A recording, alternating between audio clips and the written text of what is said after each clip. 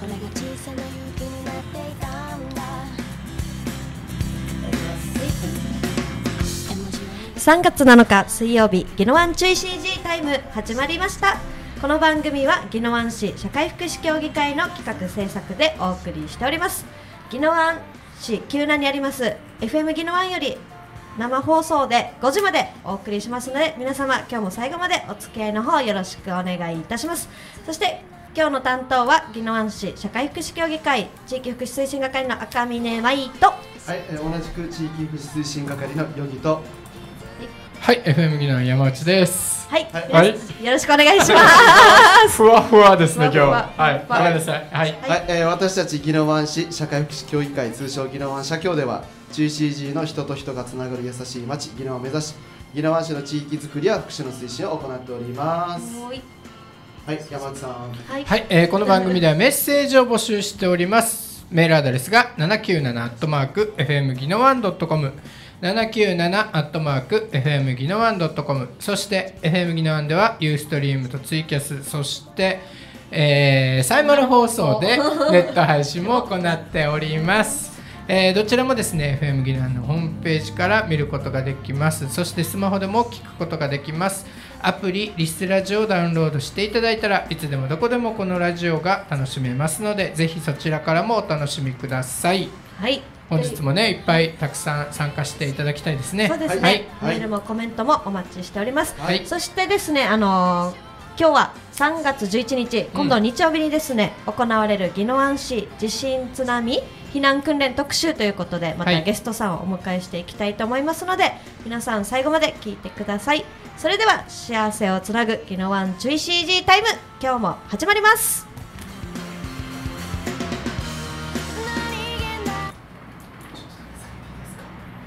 すいませんゆりさん。次からゲスト紹介します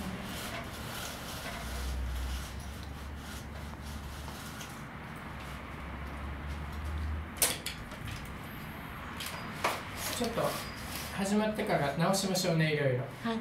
あの光とか。あああすみません。大丈夫ですあ会長こっち当たってますよマイク当たってそう、そこまで。あ自分は大丈夫です。ここがさしてるはいということで入ってないです。今は。はい。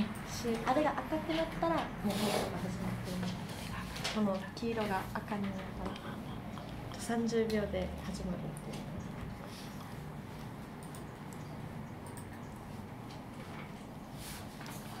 じゃあ会長始まりますね自己紹介からからいきますから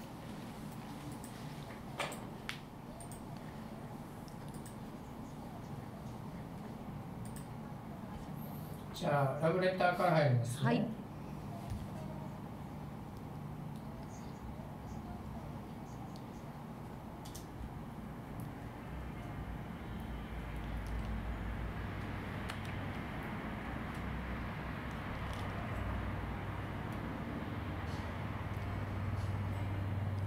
はい、3月7日水曜日、宜野湾注意 CG タイムのお時間です。この番組は宜野湾市社会福祉協議会の企画制作でお送りしております。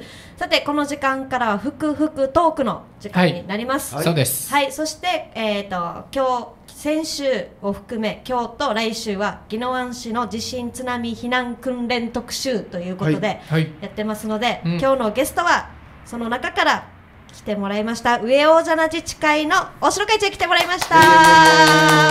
イエーイイエイイエイというわけで、自己紹介早速お願いします。はい、上尾王者な自治会会長の大城千恵子と申します。今日は皆さんよろしくお願いします。おはい願いします。はい、そして大塚健二さんも遊びに来てます。こんにちは、埼玉からツイキャスで見てますっていうことで、今日もよろしくお願いします。はいお願いしますはい、早速いつもの八木さんお願いします。はい、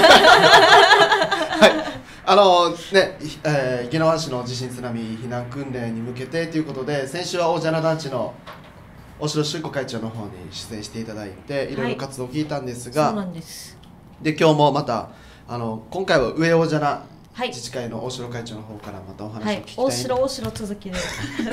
すいません。会長の方から変なツッコミは入れずに。であのー上尾ジャナ自治会の方が、えーっと防災組織も立ち上げはいていてですね、えーっと活動していますので、まあ、立ち上がった経緯とかそういったところを少しお伺いできたらなというふうに思うんですが、はい。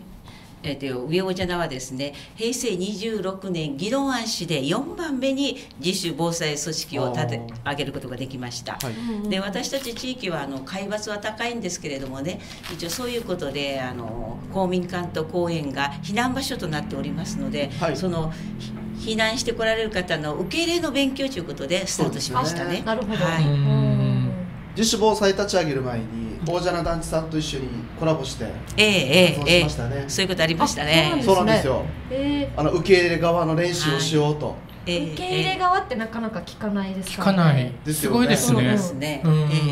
で大蛇名団地さんやっぱ逃げないといけない、はいああはいはいはい、はいはい逃げないといけないから立ち上げたっていう経緯はよく聞くんですけどそうですよね。受け入れる側っていうのは、ええええ、やっぱり受け入れ側も今はどうやって受け入れるかっていうのこれ私にとってもねとってもね、大きな心配事であったんですね。うん。あーええ。えそういったところでねやっぱりお互いのこの思いがマッチして自主防災が立ち上がる前に活動したことでやっぱり自主防災立ち上げようっていう意識向上につながったというふうに思うん。ですが、そうですね。あの私たち地域は本当にねあの宜野湾市で一番高齢化率が高くってじゃあ高齢者の方がそういう、ね、災害があった時にどうされるかっていうのが皆さんちょっとね気になってるところがあったんですね、はいそれでやっぱりその立ち上げに皆さんの気持ちが盛り上がったと思いますね。あーなるほどなるほで今あ公民館も新しくええ。どあそうそうなりましたよね、ね、やえー上上山内さんもね何回か行ってそうそうそう上上等ですね。新しく。いつですか？えっとね、27年10月公民館が完成しました。はいはいはい。そして公演が29年の8月ですね、完成したのが。あええええ。去年か。去年です去年ねですね、えはいはい。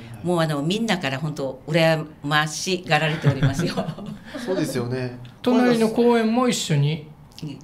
っていうこと公民館は私たち上尾なんですけど、隣はもう全く市の公園です。ああはいはいはいはい、ええええ。おねなんか隣にあんな、なんていうんですかね芝生の公園があると、いいですね。最高ですね。ね。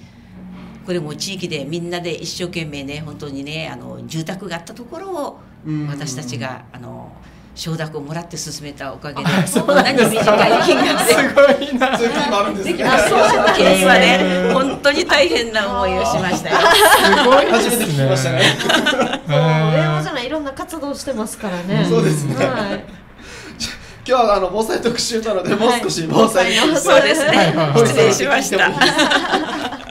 であのこれまでいろいろとあの26年からですから4年間かけて活動してきたと思うんですけど、うん。どういった活動をしてきたか少しご紹介していただいてもいいえですか、あの西海岸地区のあの地震津波避難訓練にまずは参加してですね、はいはい。そしてやっぱしあの受け入れっていうことであの何ですか？なんだっけ？あなんだっけ？ああのあれですよね。リアカーで負傷した方々をまあ、そこら辺もありますけどもね、うんあの食事のね炊炊き出しき出しのねそれもやりましたね。うんあー。えええ炊き出しも皆さん積極的にやっていただいて、はいはい。カレーライスも美味しかったですね。あそうですよね。はい。え 会長ちょっと緊張してますね。あと AED の講習もししたりとかそうですね。ええええ。だからあの市の訓練は皆一様にありまして、うん。その後私たちは独自の訓練をその後にね続けて行ってできるだけ皆さんが毎年訓練にこう飽きないで参加してもらうっていう、あはいはいその工夫はやっぱしやりましたね。そうですね、え。あのうちのあの白間の方もあ係熊本長。係長。係長。あのはい。熊本地震に行った時の報告もしていただいて。あそうなんですはねい。あら。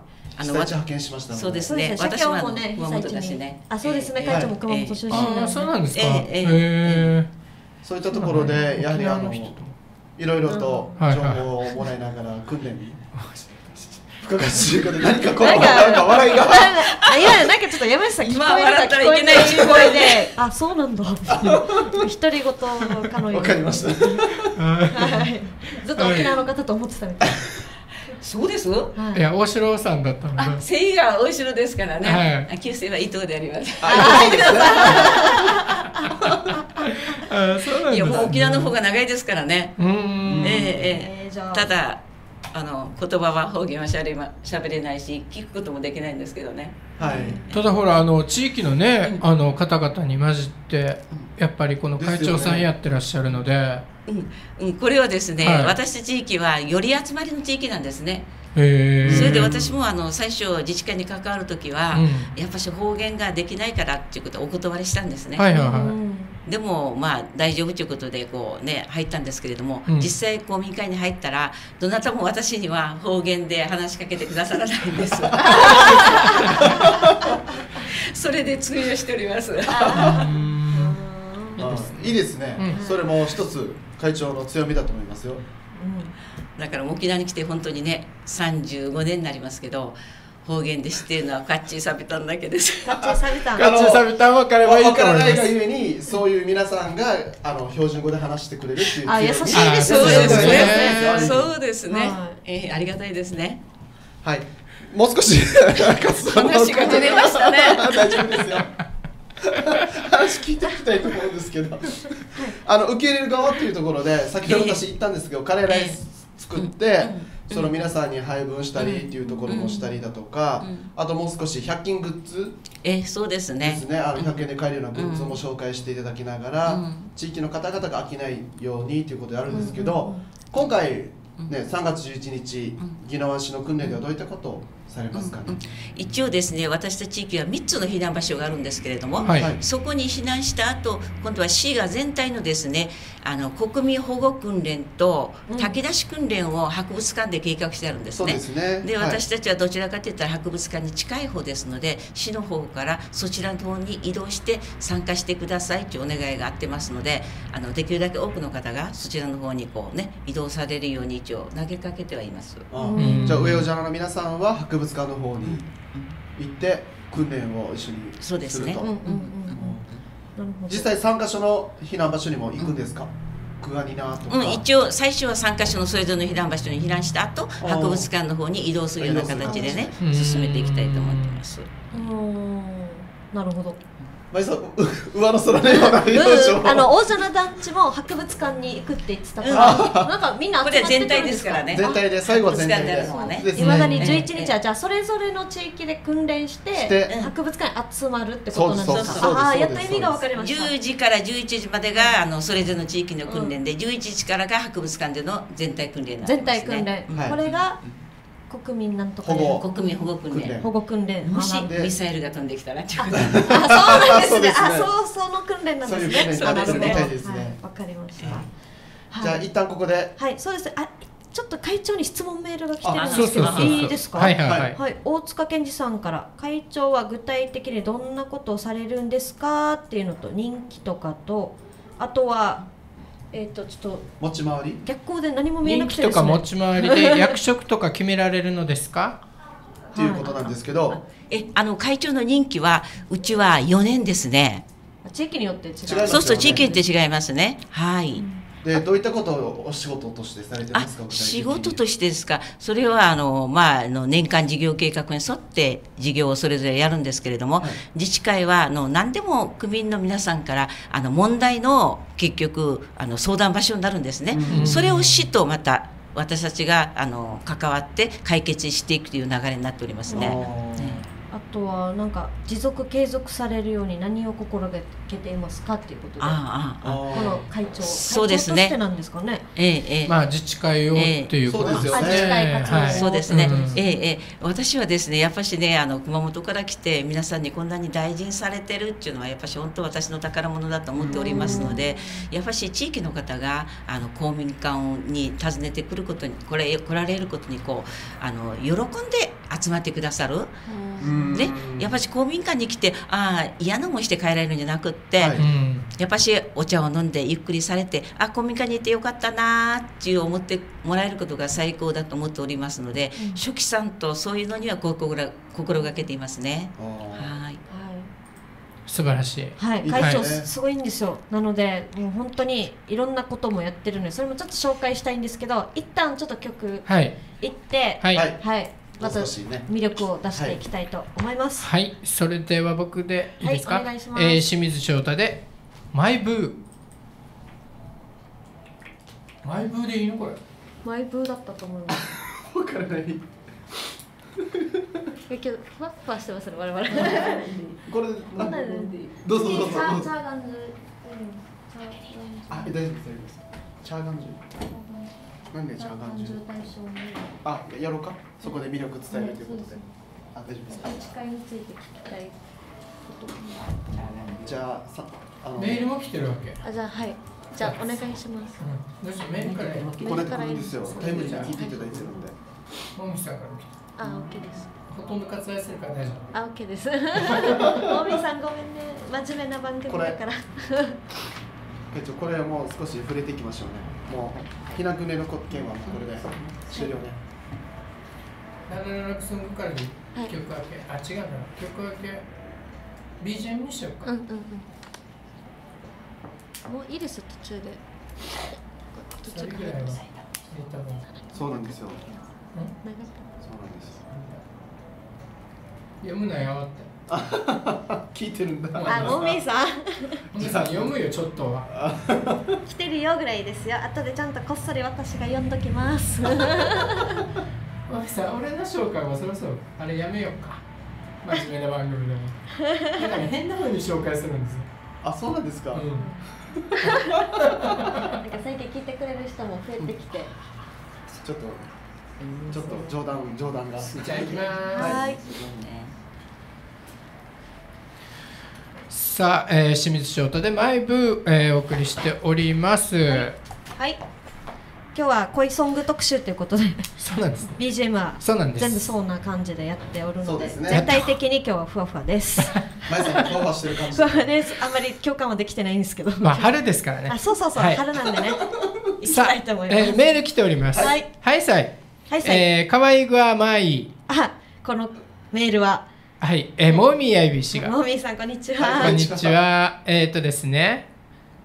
まい、今度、いろいろ、いろいろ書いてるんですよ。はいで、それを全部割愛してですね。はいあの、まい、今度ワインが鍛えてあげような。まずはフェイスブックではい友達になってからや。あ、オッケーです。安心またやさいということで。はい、わかりました。あの、長いです。私、はい、後でゆっくり読みましょうね。ほとんど読めないっていう。読めない。あわかりました。もみーさんもまたギノワンのこといっぱい知ってくださいね。はいお願いしますお願いしますえーそしてもう一つ、えー、3人のママさん。あ、ママさん、はいこんにちは。皆さん、こんにちは。こんにちは。えー、社協の前通るんですけど、通るんですか？ね、お人の出入りが多い気がします。そうですよいつも賑わってるんですか、そうです。そうです地域密着なので。はいラジオに出る人もみんな仲が良さそうで羨ましい。お、私も社協さんで働きたいという。あ絶賛求人募集中です。あ、これは本気で？はい本気で一回ご検討お願いしますそう、そう、大正会長こんな感じでラジオも結構皆さん聞いてくれて、そうなんですよすごいですねはい。いろんな形でギノワン市の魅力を伝えたいな。はい伝えたいと思いねます。いいですねママさんいつもありがとうございます。ございます。はい、本当に、ぜひぜひ。えー、もみさん、ママさん、ありがとうございます。ありがとうござ。います。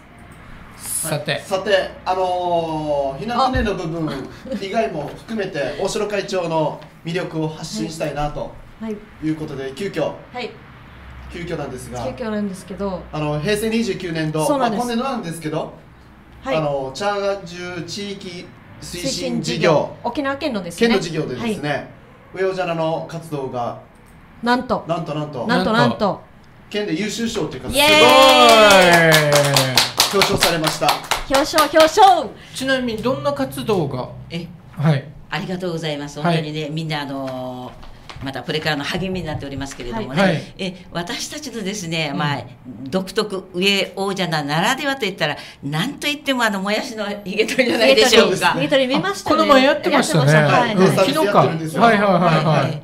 本当にねあの些細なきっかけだったんですけれどもね、うん。皆さんがね何にもなくってユンタクするよりは、もやしの値切りをしてユンタクした方がこう自然な会話が生まれるんじゃないかなって、うん。そのささやかな思いでスタートしたんですけれどもね、はい。今じゃあもうこれがなくなかったら寂しいということで、うんうん。あの週2回やっております。あすごいですね。これはあれですか？あの結構手を使うからそうですね。認知症予防にも。あ認知症予防にもいいですね。すごいな。だから介護のそういう賞賞ををももらってる。まあ、高齢者がいつまでも元気になるためのと、はいね、取り組みってい生きうこと。がい作りやりがい作り、一石何鳥もみたいな。そうですね。うん大塚健二さんからも拍手が来てます。ね優秀賞って来てますね。そうなんですよね、はい。会話も弾むし、はいあれですよね。もやしも美味しいしみたいな。おやしも美あ味しい。の一袋100円でねはい。測って、はい。あの帰りには買ってもらいますの買で、元 はちゃんと取っております。ささやかな売り上げも 零細休業やっておりますので、本当になんかあの地域の高齢者の得意なこととかやりたいことを生かしながら地域そうなんですよね。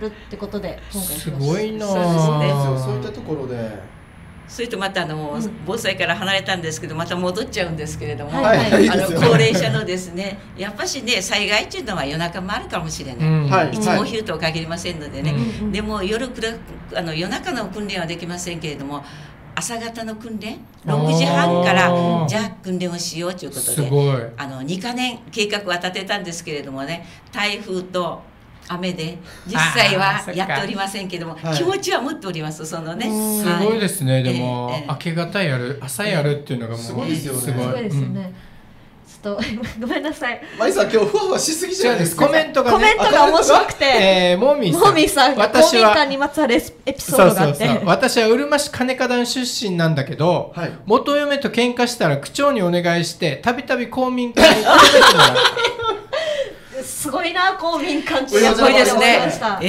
え私たちもお風呂はないんですけれどもね、あの、沖縄だから泊まることはできると思います。しかももうもやしの値切りするよってもみさんって。うん。おばたとユンタク寿司すき家イビードええ。ああそうですよ。それすごくいいことですからやっぱね、ええユンタクするきっかそうけそうですよ。ええうんはい。ええ。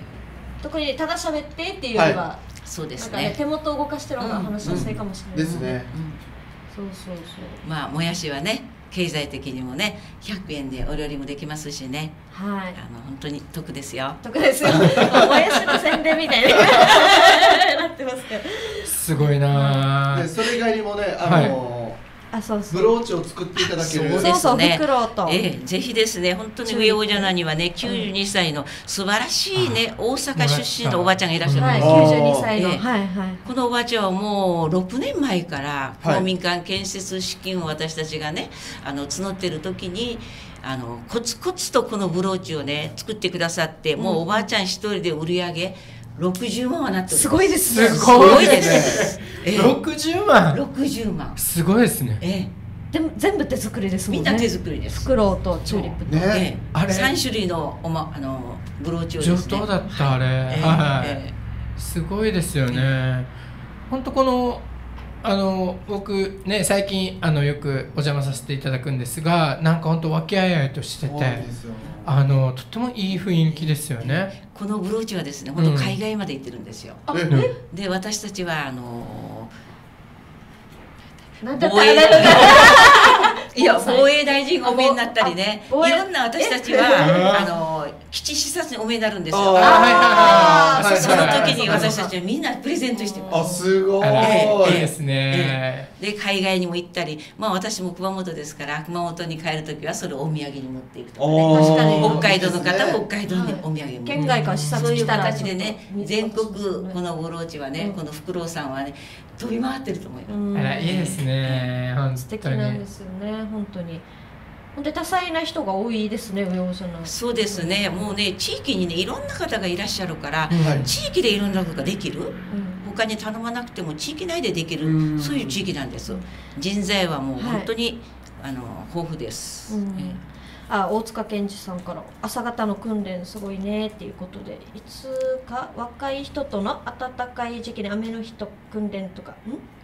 私ちょっとちゃんと読めてないです悪天候。でいいなと。いいなということで、うん、あ悪天候。そういうのもいいなるですね。ほどね、はいそうですね。あえて悪天候でやるあという。やるって、ああなるほど、ね、そうですね。やる感をええええそうですね。確かに晴れの日ばっかりじゃないですよそうですね。ね。そうですうねん。ええええ若い人だったら本当にねそうですね、うん。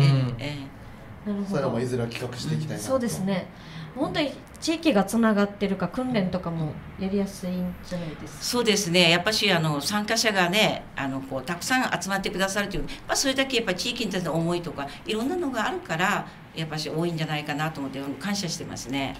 はいというわけで今日はなんか盛りだくさんな感じだったんですけどそろそろまとめないと、はい時間に迫ってきたので、お城会長から今日の感想を聞きたいなと思あいまのす。初めてでとってもねあの緊張しましたけれども2回目だったらもう少し上手にできないかなと思っておりますねまたぜひお呼びくださいぜひお呼びください。楽しかったな。はい、というわけで3月11日もうすぐですね、そうですね宜野湾市の地震津波避難訓練がはいありますので、皆さんお近くにお住まいの方はぜひ参加してもらったそうですねらなと思います。はい。でまた来週はその地震津波避難訓練を社協のメンバーで振り返っていろんな地域の紹介をしていきたいと思います。はい。はい。はい。はい、というわけで、はい、もうまた。変なコメントが変なコメントあと後で読みます、はい。ということで、ね。それではさようならで終わりたいと思います。ので、はい。い、きたいと思います。せーの、それではさようさようなら。訓練参加してね。よろしく。さよならの後に必ずしゃべる。あ、あ、大塚健二さん。ありがとうございますありがとうございます。あ、すみません。